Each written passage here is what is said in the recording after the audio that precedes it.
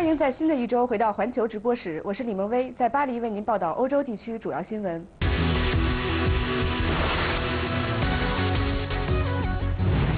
首先，让我们来回顾一下历史上的今天，欧洲各国发生过的重大事件。一六二一年的今天，法国作家拉封丹诞辰。一八二二年的今天，英国浪漫主义诗人雪莱逝世。一八六一年的今天，俄国公使入驻北京。一九四三年的今天，法国抵抗运动领袖让·木兰遇害。欧洲联盟委员会贸易委员彼得·曼德尔森周日再次抨击法国总统尼古拉·萨科齐，称萨科齐在贸易谈判问题上自私自利。在周日出版的英国《星期日泰晤士报》上，曼德尔森撰文说，世贸最新一轮谈判不是为了展示个性，公开的意见分歧使我们捍卫自身利益的能力受损。他认为，保证贸易安全是解决全球经济问题的重要内容，并希望萨科齐总统等领导人接受这一观点。英国人曼德尔森是欧盟内部自由贸易派代表人物，主张欧盟成员国减少农业补贴。法国是欧洲头号农业大国，也是受惠欧盟农业补贴政策最多的国家。萨科齐反对减少农业补贴，并把矛头指向曼德尔森。两人近来已经多次相互攻击。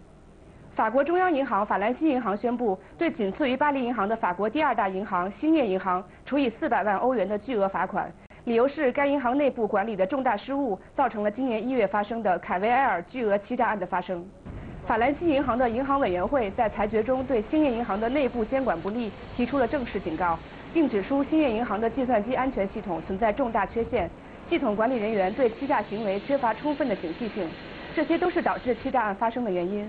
不过，兴业银行在丑闻被发现后，马上采取措施纠正以上缺陷，对此，银行委员会在裁决中给予了肯定。来看英国方面的消息，两千零五年七月七号，伦敦地铁发生爆炸案，造成五十二人死亡。今年是爆炸案发生的三周年纪念。伦敦市长约翰逊陪同遇难者家属前往国王十字车站，献上鲜花，以沉默的方式对遇难者表示哀悼。伦敦市长约翰逊在三年前爆炸同一时间点，上午八点五十分整，带领遇难者家属在国王十字车站前献上一束束的鲜花，以沉默悼念遇难者。现场许多家属依旧忍不住红了眼眶。三年前，四位炸弹客就是在这个车站聚集，随后分散引爆，造成共有七起爆炸案，夺走五十二条人命，超过七百人受伤。这事件在英国社会造成创伤，挥之不去。I, as a Londoner myself, I expected there to be a bomb attack in London that was successful at some point, um, and Londoners are used to that possibility or that probability. 面对恐怖威胁，不仅英国民众做好准备应对，大众运输系统随时战战兢兢。我访问到一位公车司机，他同样驾驶爆炸公车三十号的路线。他告诉我们，即使事发后三年，现在一件可疑事物都不得掉以轻心。When we stop at the bus stand, first thing you do, we have to look around to check anything suspicious. Otherwise, you just have to call the police or code red. That's what we do. That's what we told to do all the time. 哀悼现场受害者赔偿的议题也引发关注。根据了解，爆炸发生后，至今还有七十三位的受害者没有领到赔偿金。约翰逊也允诺会协助加快处理作业。英国警方对六月二十九日发生在伦敦的两名法国学生遇害惨案的调查有了新的进展。警方于七号逮捕了第二名嫌犯。伦敦警方七号表示，一名三十三岁男子向警察局自首，随后被扣留。两名二十三岁的法国留学生的遗体是在其中一人位于伦敦的住所内发现。当时两人被捆绑和塞嘴，身中多刀死亡，其中一人被捅近两百刀。警方形容这是他们见过的最残忍的谋杀案。经调查，两名法国学生没有犯案记录，品格良好，不明白为什么他们会遇害。案发前六天，浴室的住所曾被盗窃，一台电脑被偷走。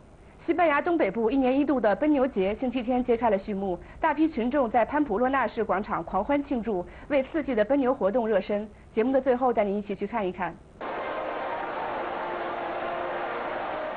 潘普洛纳市议会前的广场聚集了好几千人，他们都穿起了白汗衫、白裤子，加一条红领巾和红腰带，又跳又唱，气氛热闹。当中不少人是来自外国的游客，与当地人打成一片。